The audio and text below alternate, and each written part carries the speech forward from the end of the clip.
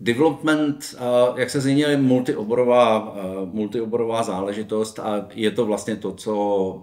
je zajímavé na tom, proč development dělat. Development,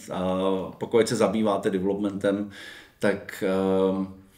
protože teď na fakultě architektury, tak, nebo na půdě fakulty architektury, tak development není jenom architektura, není to jenom stavitelství, není to jenom ekonomika, není to jenom právo, není to jenom marketing a ještě bychom asi, nebo finance, financování, daně a podobně. A, ale je to činnost, která vlastně velmi zajímavým způsobem v sobě spojuje všechny tyto činnosti a to je na developmentu vlastně to pěkné a, a účelem toho kurzu je nahlídnout do všech koutů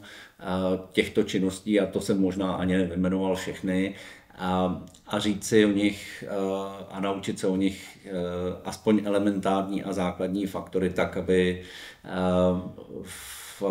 budoucí aktivitě ehm, těch účastníků toho kurzu ehm, je mohli eh, použít, věděli o tom, že existují a ten obor jako takový se mohl dál zlepšit.